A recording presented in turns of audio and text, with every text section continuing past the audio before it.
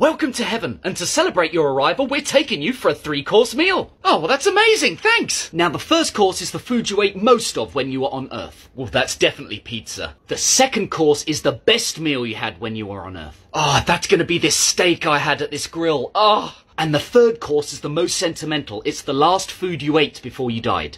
Oh no. What's wrong? What's that face for? Well, you see, I got killed during a bar fight, and I'm pretty sure I swallowed a tooth.